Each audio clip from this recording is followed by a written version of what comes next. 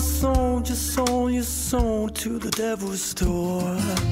Gave you five hours, I was trying to say you should have gotten five more.